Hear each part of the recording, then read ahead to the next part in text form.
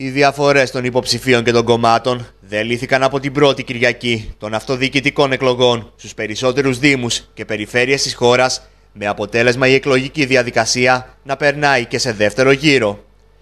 Ωστόσο, η μεγάλη αποχή από την κάλπη γεννά πολλά ερωτηματικά και προβληματισμό στα κόμματα, αλλά και σε ολόκληρο το πολιτικό σύστημα της Ελλάδας.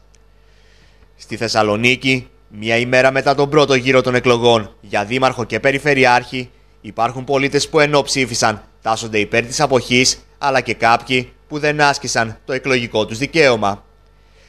Και οι δύο αυτές περιπτώσεις πολιτών θεωρούν πως με τη μεγάλη αυτή αποχή εστάλει ένα ισχυρό πολιτικό μήνυμα που πρέπει να λάβουν, εάν δεν το έχουν λάβει ακόμη, οι πολιτικοί της χώρας.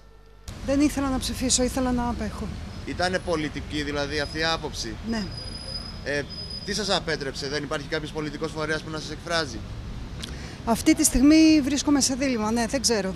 Η αποχή σας προβληματίζει; Εμένα προσωπικά όχι. Να προβληματίσει τους πολιτικούς. Ο λόγος που δεν ψήφισα είναι ότι, επαναλαμβάνω και πάλι, συχαίνομαι όλο αυτό το κατάλημα που επικρατεί σε αυτή την πατρίδα που λέγεται Ελλάδα.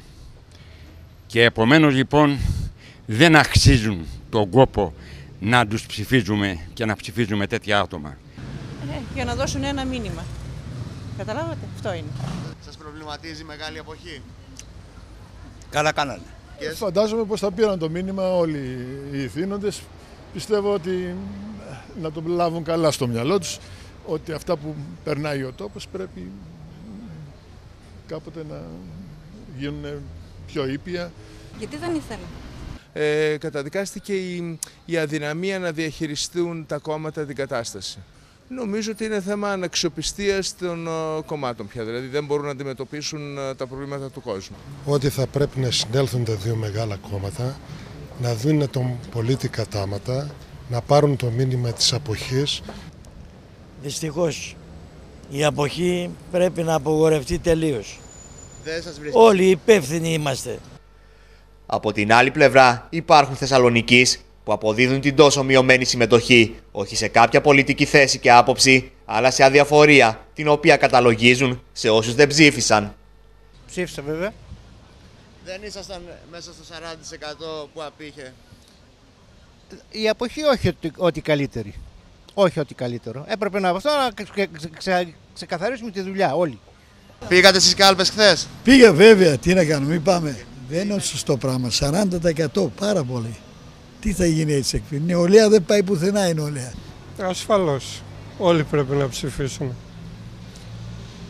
Γιατί δεν φαίνεται ακριβώς το αποτέλεσμα που πρέπει να υπάρχει κανονικά. Μπορεί να είναι διαμαρτυρία, ξέρω εγώ, τι και να είναι, αλλά... Τα μεγαλύτερα ποσοστά αποχής πανελλαδικά καταγράφονται στις νεαρές ηλικίες έτσι και στη Θεσσαλονίκη, ένα μεγάλο κομμάτι νεολαίας σνόμπαρε εντός εισαγωγικών την εκλογική διαδικασία και δεν άσκησε το εκλογικό του δικαίωμα.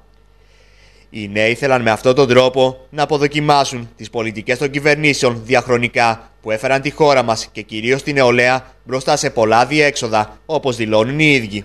Για ποιο λόγο δεν ψηφίσατε; Ε, δεν ψηφίσαμε γιατί δεν ε, βρήκα κάποιο σημαντικό λόγο έτσι ώστε να πάω να ψηφίσω. Γι' αυτό όλα αυτά που γίνονται τώρα με, τελευταία με αυτά που ακούμε και όλα αυτά που γίνονται ήταν σαν ένας λόγος για μένα να, πω, να πάω κόντρα δηλαδή, στο κατεστημένο και να πω όχι, πούμε, δεν δέχομαι να, δεν θα, δεν θα ρίξω την ψήφο μου.